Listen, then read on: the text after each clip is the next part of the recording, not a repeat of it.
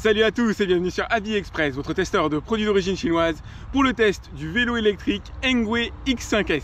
Ça ne transparaît pas quand on le voit comme ça, surtout en contre-jour, me direz-vous, mais c'est un beau bébé de 25 kg.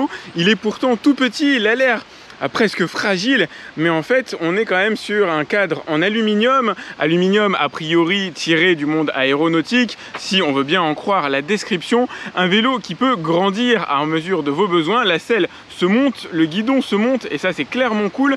En parlant du guidon d'ailleurs je vais vous le présenter rapidement. Donc vous avez ici grippe en caoutchouc, frein avant, arrière, support téléphone. Donc là la possibilité de régler le guidon lui-même, de le monter bien sûr avec le petit truc qui est ici.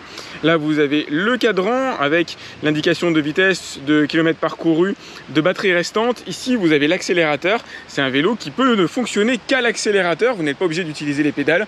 Vous avez bien sûr voilà roue avant, frein à disque à l'avant, lumière. Ici le on reviendra sur ce sujet un petit peu plus tard, le frein, la béquille, la batterie, le support siège passager et la selle à l'avant pour le conducteur avec ressort et surtout une selle bien large, bien moelleuse et ça j'adore. Le pliage du vélo est assez simple, vous commencez par plier le cadre, en tout cas descendre le guidon.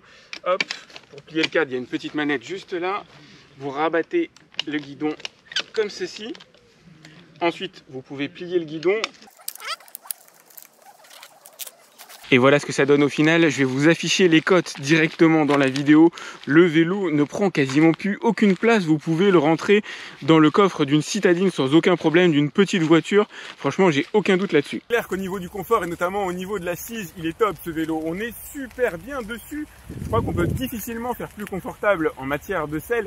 Les ressorts à l'arrière, on les sent pas particulièrement, mais la mousse, elle fait bien son travail, fait bien son job. Moi, je suis super bien et je sens que c'est fait pour avaler des kilomètres. Par contre, on a d'autres petites choses qui auraient pu être améliorées. Les suspensions sont un petit peu souples à mon goût, c'est-à-dire qu'elles vont s'affaisser relativement vite dès lors qu'il y a une aspérité. C'est le rôle de suspension, me direz-vous, mais j'aurais aimé peut-être un petit peu plus de rigueur. J'aurais aimé aussi un peu plus d'espace pour mes jambes. Alors moi, je mesure 1m76 et vous pouvez le voir, mes jambes sont relativement proches du guidon. Alors je peux utiliser le vélo sans souci, je pense que jusqu'à 1m80, vous allez pouvoir utiliser le vélo. Mais par exemple, si je tourne je vais avoir bah, le guidon qui va rencontrer mon genou. Si je tourne en même temps que je pédale, pardon, mon genou va rencontrer le guidon et là ça devient tout de suite moins agréable. Bon, c'est pas grave, c'est un vélo qui est ultra compact. Dites-vous que si vous faites plus d'un mètre 80, c'est pas un vélo qui est fait pour vous. Niveau vitesse de pointe, c'est le bonheur absolu. Le vélo atteint une vitesse de pointe de 31 km h à se demander si je ne l'ai pas débridé par inadvertance.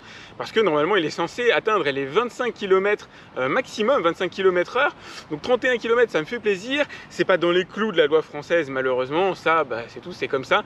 Euh, faut se faire une raison à ce niveau-là. J'avoue que moi, je prends vraiment mon pied. 31 km h c'est cool. C'est même très, très cool. C'est exactement ce que j'ai envie d'avoir sur ce genre de vélo. Et ça donne d'autant plus envie de en faisant bien attention évidemment. Euh, attention d'autant plus que 31 km h a priori vous n'êtes pas assuré ou assurable en cas d'accident. Ça c'est vraiment un paramètre à prendre en considération. En tout cas voyez-le avec votre assurance avant de vous lancer dans cet achat. Alors je peux pas vous faire la démo en tenant la perche à selfie mais c'est un vélo qui a une certaine vélocité, probablement plus que ce que vous allez trouver à la concurrence sur des vélos de 250 watts. Là on est sur une batterie 48 volts et ça se ressent à l'accélération, on a tout de suite beaucoup plus de patates que sur des vélos du même genre. Et franchement, c'est cool. Moi, c'est clairement fait pour me plaire. Toujours est-il que vous pouvez l'utiliser si jamais vous êtes débutant ou débutante, croyez-moi, vous n'allez pas avoir un mouvement de recul. Si vous souhaitez bah, rouler à vitesse d'un marcheur, et eh ben franchement ça se fait sans aucun problème, c'est ce que je suis en train de faire maintenant pour éviter d'avoir trop de vent dans la caméra et puis tout simplement pour pouvoir filmer euh, confortablement aussi en même temps que je fais le vélo euh, parce qu'à une main c'est quand même pas idéal, on n'est pas non plus sur des grandes roues donc si jamais vous voulez aller doucement avec ce vélo, croyez-moi, vous pouvez le faire sans aucun problème. Mais j'apprécie la petite note, la petite touche qui permet d'accélérer un peu plus fort que la moyenne.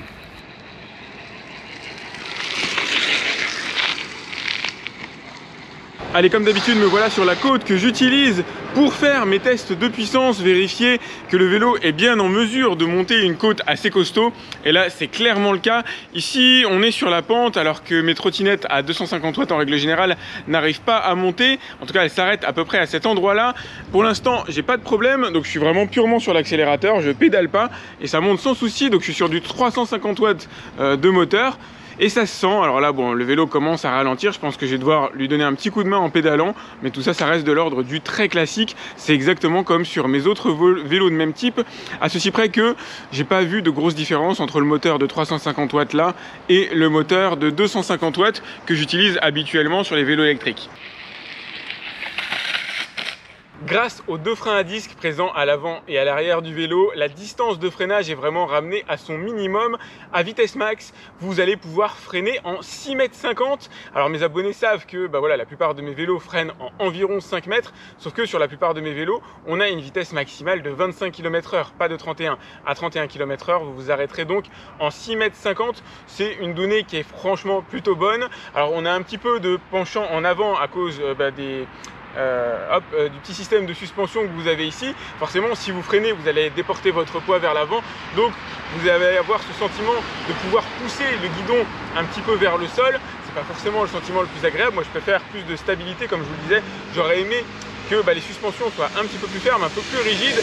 Mais l'important, c'est quand même de pouvoir freiner rapidement. Ramener à 25 km/h, vous devriez pouvoir vous arrêter en environ 5 mètres.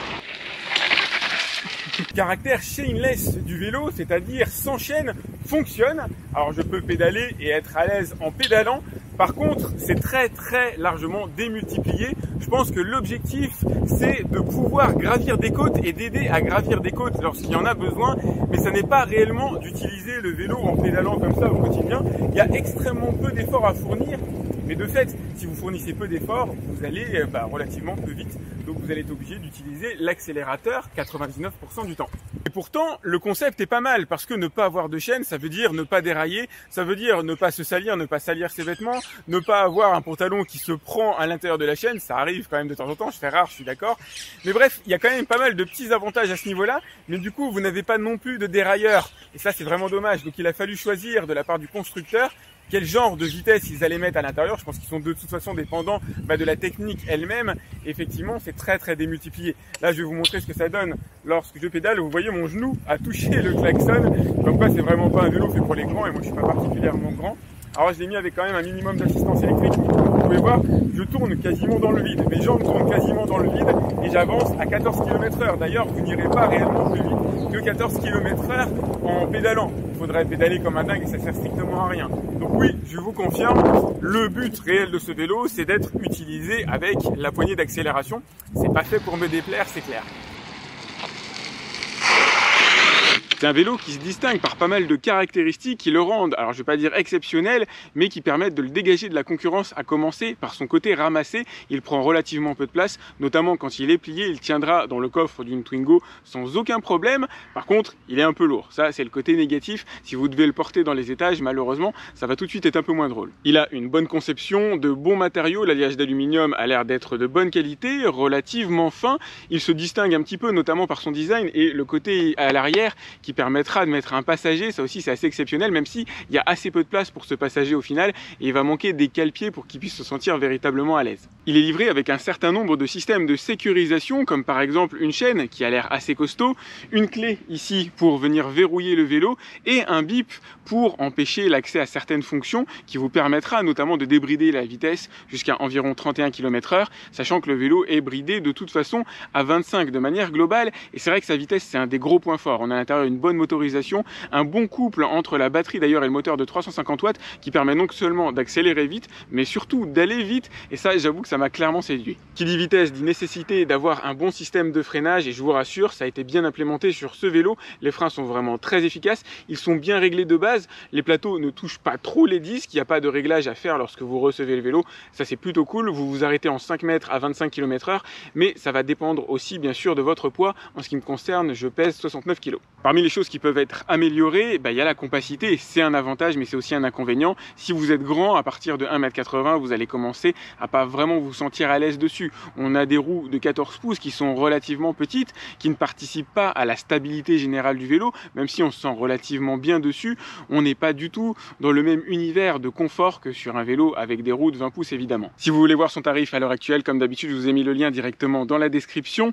N'hésitez pas à liker cette vidéo, à la partager, à vous abonner à ma chaîne, à cliquer sur la petite cloche qui vous permettra d'être alerté lorsque je lance un nouveau test. Et moi je vous dis à très vite sur AviExpress. Salut